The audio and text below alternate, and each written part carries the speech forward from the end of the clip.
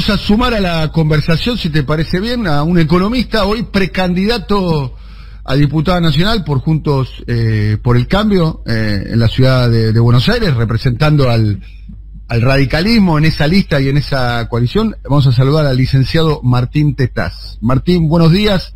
Daniel Tonietti y Adrián Murano te saludamos. ¿Cómo estás? ¿Qué tal? ¿Cómo le va? Buen día, gracias por el llamado. Bueno, muchísimas gracias por, por atendernos, eh, muy, muy amable. Bien, ¿Qué, hacer con la deuda, Martín? Con la deuda de, con el Fondo Monetario. ¿Cómo negociarían ustedes con el Fondo Monetario? Hay que hacer un, hay que aprovechar la oportunidad histórica que te da la pandemia. Eh, normalmente el fondo no reestructura las deudas, cuesta mucho, hay que ofrecer un programa de ajuste muy exigente para poder cumplir con una reestructuración, porque imagínate que parate ahora en el lugar de los países que están en el fondo, que te van a decir, mira, si yo te perdono a vos y te hago un plan de pago en muchas cuotas y sin y sin intereses, entonces se lo tengo que hacer a todos los otros países, porque todos me van a pedir lo mismo, ¿no? Entonces ahí eso se llama riesgo moral en, en economía, ese comportamiento. Y, entonces, por esa razón normalmente es difícil conseguir un acuerdo, pero ahora el fondo está, digamos, de pechito, para llamarlo en términos futbolísticos, porque porque la pandemia le da la excusa perfecta para decir, bueno, esto no es algo que todos lo van a poder pedir después, es algo extraordinario por la pandemia. Y eso ofrece la posibilidad de hacer un acuerdo razonable, que sea, ojalá pudiera ser a, a más años, pero con 10 años sería bastante razonable. De todas maneras, déjame decirte una cosa, no hay acuerdo que valga si Argentina no vuelve a insertarse en los mercados internacionales, no vuelve a tener confianza. Nosotros acabamos de reestructurar nuestra deuda privada hace un año, se cumple prácticamente un año ahora, y, los bonos argentinos pagan 22% en dólares, o sea, están en precio de default, nadie, nadie les cree, nadie está dispuesto a, poner plata en esos bonos. Entonces, eh, en condiciones normales, si vos eh, acordás, hagámoslo simple a la cuenta, 10 cuotas de 4.000 mil eh, para pagar los 40 mil millones que le debemos al fondo, estoy haciendo un número redondo para simplificar. Si, vos haces ese, ese acuerdo, en condiciones normales, 4 mil millones de dólares no es nada para un país como Argentina y lo, lo, paga todos los años sin ningún problema, sin necesidad de sacarlo de recursos propios, sin necesidad de sacarlo de las jubilaciones, de, la, de la salud, lo puede pagar simplemente, como decimos en economía, roleándolo, o sea, pagándolo con nueva deuda. De hecho, la, propia plata del fondo fue, es una deuda para el que se contrajo para pagar otra deuda que, vencía en esos años, ¿no? Fíjate vos que los años que se toma la deuda del fondo, que es 2018 y 2019, la deuda argentina no sube. ¿Y por qué no sube? Porque con esa misma plata de la deuda del fondo en realidad se pagó otra deuda que vencía esos años. Entonces lo mismo hay que hacer hacia adelante y si vos haces eso, que es lo que hacen todos los países del mundo, no deberías tener mayores problemas. Si, tuvieses que establecer un, ranking de las de los tres errores económicos del gobierno de Macri, ¿cuál sería? ¿Que lo integrarían qué decisiones ese ranking? Mira, el primero, el primero sería el gradualismo, el, digamos, no, no, fue claro Macri en cuáles eran las reformas que tenía que hacer eh, tal vez durante su campaña, por razones electorales supongo. Después él eh, tuvo que ser muy gradual hasta que logró conseguir el apoyo eh, político en 2017 y cuando quiso ir por las reformas eligió mal la secuencia de las reformas, fue por una reforma previsional que encima era mala, no hizo la reforma laboral que sí tenía que hacer, eh, generó, hizo una reforma tributaria por la mitad, entonces el, gradualismo ese lo, lo condenó, lo, lo, condicionó mucho y le generó después la, le sirvió en bandeja la crisis del 2018. En segundo lugar, Martín, sí. Buen día, Adrián Murano, ¿cómo te va? Si, si, el problema fue el gradualismo y con el gradualismo hubo una pérdida de poder adquisitivo de 20 puntos, ¿a cuánto hubiese escalado la pérdida de poder No, es que, la, pérdida de poder adquisitivo, la pérdida de poder adquisitivo no fue por el gradualismo, al revés, la pérdida de poder adquisitivo fue por la, la Estoy ironizando, digamos, si, estoy ironizando, digo, si se perdieron 20 puntos en cuatro años, si se hubiese acelerado no, más, no se perdieron, ahí dijo, hacer lo mismo pero más rápido. No, no, pero no es lo mismo ni más rápido y no se perdieron 20 puntos en cuatro años. Se perdieron 20 puntos en los últimos dos años cuando vino la devaluación. Y la devaluación vino porque te quedaste sin financiamiento. Hay una, hay algo que hay que, que hay que, que hay que saldar en Argentina, que es un debate clave, ¿no? Eh, no, no, se, no se puede estar en contra del ajuste y en contra de la deuda. Las dos cosas al mismo tiempo no. Una de las dos hay que elegir. O querés, o, o, te bancás la deuda, digamos, y, y, lo acompañás y estás de acuerdo con la deuda, y entonces haces más, más lento el ajuste, que fue lo que hizo Macri, o hacer más rápido el ajuste, y pero entonces, bueno, si no te gusta la deuda, decís, no, hay que hacer más rápido el ajuste, pero después no critique el ajuste. No, en tal caso es el peso sobre quién recae el peso del ajuste, ¿no?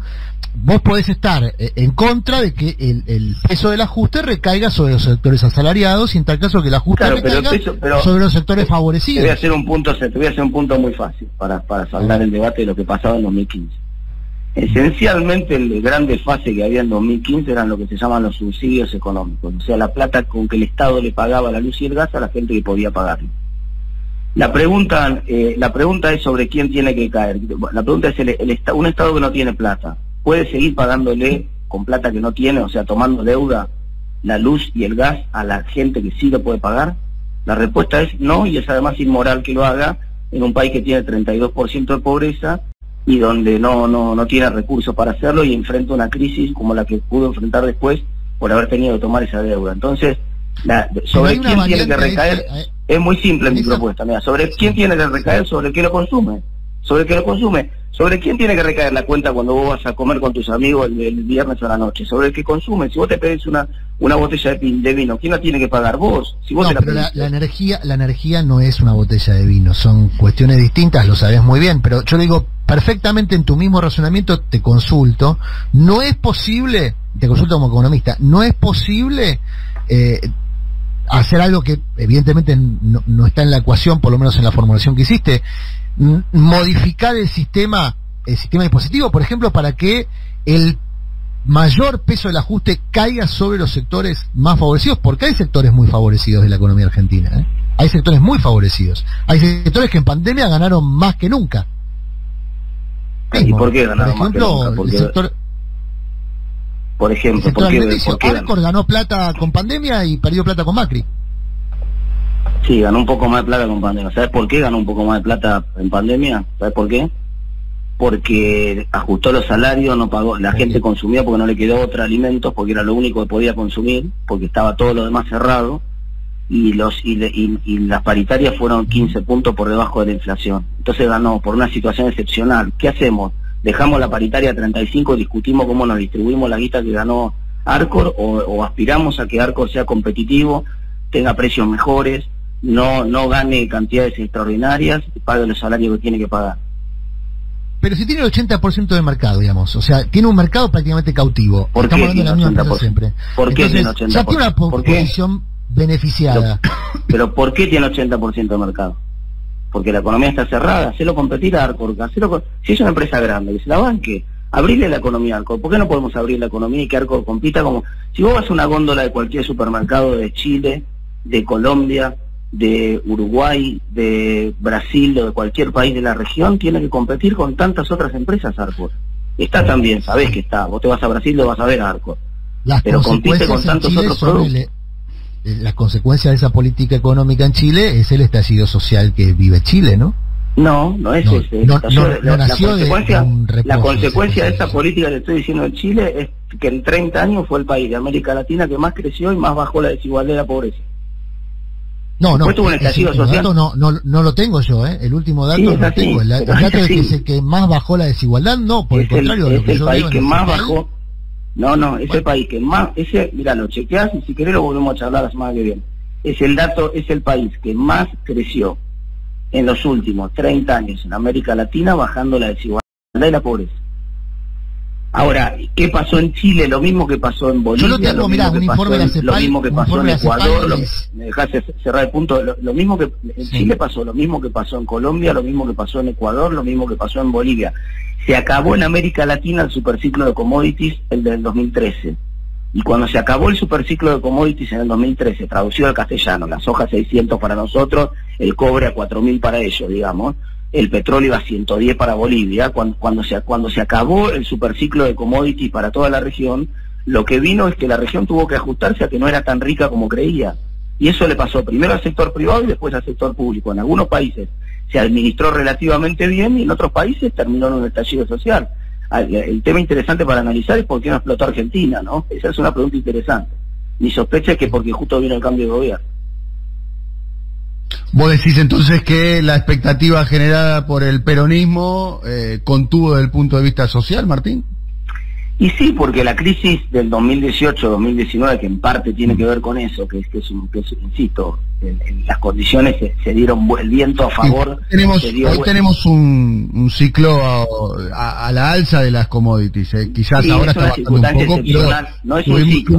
Un, 2020 no con la soja 600, pero sí con la soja 500. Sí, sí, pero no es un ciclo, es una circunstancia muy excepcional por la pandemia. No, no, no es un ciclo. Vamos a ver lo más probable es que eso se termine rápido, o sea, la pandemia generó que, los, que, la Reserva Federal de Estados Unidos y los bancos, Banco Central Europeo fueran demasiado expansivos para salir, y eso hizo que las tasas de interés se regalaran, que el dólar se hundiera en el mundo, y como el dólar se hundió en el mundo, todos los precios expresados en dólares subieron, el de la soja, el del petróleo, el de todos los productos. Eso es una circunstancia muy excepcional por la pandemia, que no, va, no es un superciclo de 10 años o de 12 años como el que hubo en la década en, la, las décadas anteriores. Entonces, eso se acabó. Cuando eso se acabó, los países sí, tuvieron que ver cómo hacían para ajustar. Muchos de esos países no lo pudieron. La política fracasó en hacer eso.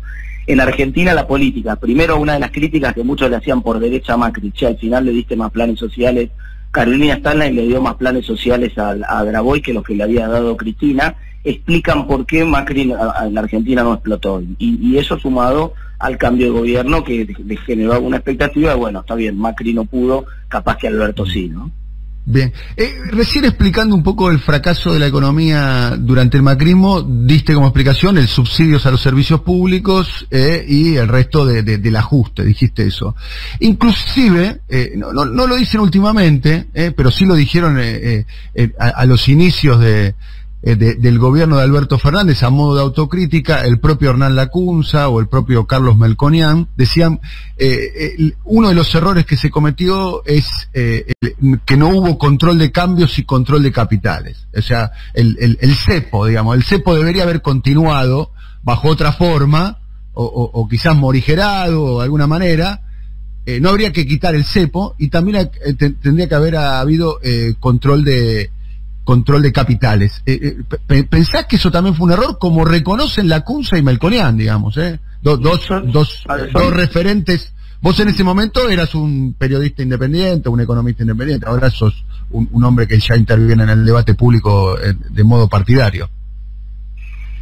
Son dos, este, em, dos cosas distintas, ¿no? Primero no estoy de acuerdo con la idea de que había que continuar con el CEPO, no había más dólares en la economía argentina. Cuando asume, eh, cuando asume Macri, las reservas estaban en menos 3 mil millones. ¿Qué quiere decir? Que había más compromiso de entregar dólares que los dólares que había disponibles en el Banco Central. Entonces, no había más posibilidad. Sin dólares una economía no puede funcionar. Entonces, era, era eh, eh, se puede haber alguna discusión técnica de, si eso era una secuencia que se podía hacer solamente en diciembre como se hizo o había que hacerlo a lo largo de tres meses para empalmar con lo, con, con, con, los este con el dólar futuro digamos hay un tema técnico ahí muy muy puntual pero pero que había que salir de no, no ninguna había alternativa en ese momento porque ya no había más dólares en la economía. Lo del el control de capitales es otra cosa que es interesante. Cuando uno mira los países de la región, la verdad que la mayoría de los países emergentes tienen algún tipo de control en la cuenta capital. ¿Cómo funciona esto? De una, con una regla muy simple, se llaman controles macroprudenciales. ¿Qué son esos controles macroprudenciales? Bueno, vos querés venir a hacer una inversión directa, bienvenido, comprar una empresa, hacer una, hacer una inversión acá. Ahora, vos querés venir a hacer una inversión financiera, bueno, tenés que quedarte... ¿Qué pasó en los primeros dos años de Macri con el carry trade? Ah, pero déjame cerrar el punto, que, tenés que comprometerte a quedarte seis meses o un año. Ese, ese compromiso evita que la salida, cuando esos capitales salen, sea abrupta, que sea, se produzca en un solo momento, porque tenés que esperar que se te terminen tus seis meses o el año de, estacionamiento al cual te comprometiste. Ese, ese, esa medida podría haber sido razonable. No la quiso hacer Argentina, tiene una explicación por qué no. Yo alguna vez se lo pregunté al ministro, en su momento y me explicaron que el problema era que Argentina quería entrar a ser un país emergente, había, había quedado fuera del, radar de los países, estaba como un país de frontera, quería ser país emergente y apostaron todas las fichas a hacerlo y por eso no pusieron ese control. Esa, esa es una crítica válida, me parece que habría que estudiarlo en la, siguiente oportunidad, ese control macroprudencial es razonable, insisto, lo hacen la mayoría de los países de la región y es un control razonable. Eh, quiero preguntarte, ¿las tarifas hoy están atrasadas para vos? Sí, sí, están muy atrasadas porque hace prácticamente dos años, los dos años anteriores a este año no tuvieron ningún aumento y hubo casi 100% de inflación acumulada en Argentina. Y, en este último año aumentaron solamente en un momento, vos recordarás el último momento que lo dejaron a Guzmán, que fue cerca del 9% del aumento de tarifa y otra vez hubo cerca del 50% de inflación. Así que claramente quedaron muy atrasadas de vuelta. Vos si fueses ministro de Economía, eh, eh, ¿qué, ¿qué, aumento de tarifas harías? ¿50%, 100%? No, no, no, no, es, no, es, un, no, es, un, no es un primero, no, no lo sé. No, no necesariamente tiene que ser aumento. Hay muchas formas de recomponer la ecuación de rentabilidad de las empresas. Por ejemplo, vos podés recomponer la ecuación de rentabilidad de las empresas cambiando los contratos, entonces haciendo, eh, eh, alargando una concesión. Entonces la empresa te dice, no, está bien, me banco la tarifa un poco más baja, pero me das, eh, qué sé yo, 10 años más de concesión, por poner un ejemplo. Lo que está claro es que, es que, es que eh, hay que recomponer los niveles de rentabilidad que había hace por lo menos dos años atrás. Después discutimos si eso estaba bien, si era demasiado, pero está claro que no, no puede ser un país que tiene 50% de inflación mensual, congelar las tarifas prácticamente durante tres años seguidos. No puedes congelar nada, no es que las tarifas, no puedes congelar lo mismo pasaría si hubieras congelado cualquier otro precio de la economía, ¿no? Bien, Adrián. No, simplemente eh, para, ya en términos propositivos, digamos, eh, propositivos teniendo en cuenta lo que viene, que es la segunda etapa de la campaña, ahí López Murphy eh, planteó que hay un problema en cómo quedaría la grilla si eh, se dan determinados resultados y sugirió que puede haber un acuerdo de escritorio, digamos, que, mm. que, puede haber un acuerdo para alternar la grilla de candidatos eh, en el escritorio y no en, las urnas. Esto tiene que ver con la combinación de sistema DONT y sistema y sistema este, de, paridad de género. Eh, ¿En qué consiste ese acuerdo, Martín?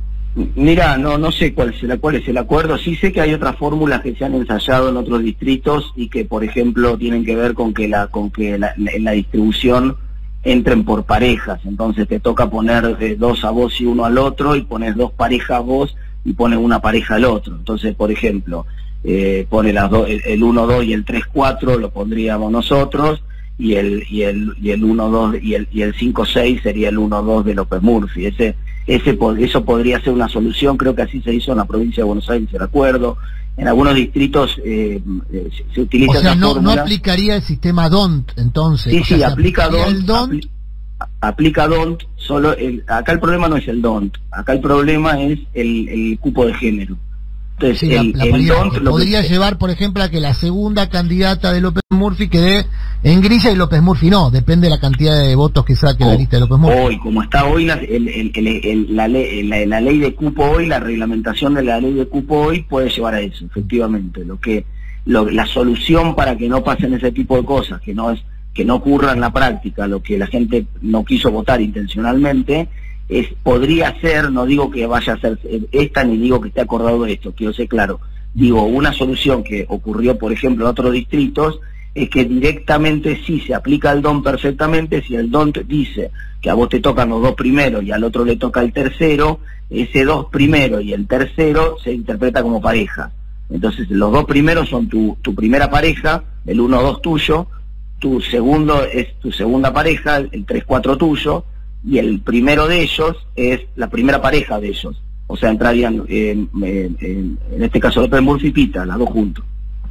López Murphy, Pita y Rubinstein sería el quinto, si es que Rubinstein tendría que destacar, Rubinstein tendría que superar el piso necesario para dontear, hoy ninguna encuesta lo está poniendo en esa posibilidad, pero bueno, matemáticamente sería posible, sí. Bien, eh, la, última pregunta por mi parte, Martín, y te agradecemos el tiempo eh, dedicado para conversar con, nosotros. ¿Qué, modelo de país eh, tenés en la cabeza cuando, cuando pensás, a ver, no la Argentina, claramente, digamos, ¿no? Porque sos crítico con la Argentina, ¿no? El modelo actual o el modelo kirchnerista. también tenés disidencias con, con el modelo del, del macrismo, parece o, con el gobierno del macrismo. ¿Cuál, es, eh, si tenés que tomar un país modelo, cuál sería? Mira, eh, Colombia, Perú, dijiste. Mira, para mucho, para, para, para, lo que pasa es que a mí yo soy muy pragmático, ¿viste? Entonces eh, me gusta ver, no, no, no, hay, no hay uno solo que calce para todo. Para distintos problemas de la Argentina hay distintas soluciones. Ejemplos. el sistema de, de, legislación laboral y de reglas laborales de Finlandia combinado con, con el seguro de desempleo que tiene Finlandia me gusta mucho cómo funciona porque tiene el foco de reinsertar a los trabajadores y no de que vivan de planes. Eso ese es un esquema que me gusta que me gusta mucho. El esquema de, jubilatorio cómo funciona combinado entre un sistema de, cobertura solidario y un sistema de aportes individuales de Noruega me gusta mucho cómo funciona el, sistema de regulaciones del, del, de, eh, por ejemplo, las exportaciones de productos alimenticios que tienen Australia y, Nueva Zelanda, también me gusta mucho cómo funciona. El esquema de estabilidad macroeconómica y respeto por las reglas que tiene eh, Chile, pero también Perú, fíjate, ganó Castillo y no, no, lo, no lo remueve el presidente del Banco Central, ese, eso también me gusta. A mí, alguna vez dije que me gustaría Chile con educación pública y gratuita y estaría casi, casi que te compro, que te compro el modelo, ¿no? Bien. Bueno, gracias Martín por tu tiempo. Un abrazo, hasta luego. Un abrazo, hasta luego. Hasta luego. Bueno, Martín Tetaz, candidato a, diputado nacional, ¿eh? Conversando con nosotros, todo indicaría que va a terminar ocupando una banca, ¿no? Bueno, eh, por eso yo le preguntaba cómo se va a resolver ese tema de la interna de Juntos por el Cambio de la Ciudad, que se, se picó en los últimos días por la posibilidad de esta que yo mencionaba, de que a más votos, menos chance de López Murphy de integrar la lista, así como está planteado hoy el, el acuerdo o el, sistema de selección de, la interna de Juntos por el Cambio de la Ciudad. Eh, dependiendo de, de, cómo se termine resolviendo eso, López Murphy, y dependiendo de la cantidad de votos que saque, eh, como vos decís, la, aspiración de Juntos por el Cambio es que entren tres, cuatro, cinco legisladores, debiera sacar más del 50% de los votos para que entren cinco, ¿no? Hoy ninguna encuesta le da a Vidal ese volumen de votos, digo a Vidal porque está encabezando eh, la interna. Eh, pero bueno, si entraran cinco legisladores en la ciudad de Juntos por el Cambio, uno imagina que Tetaz, que está segundo de Vidal, eh, entraría como legislador. Si hay que ver, insisto, qué pasa eh, con, con López Murphy, con Pita, con la interna. y podría darse una situación bastante anómala desde el punto de vista institucional, que es que el, a más votos, menos chance de integrar la lista de López Murphy.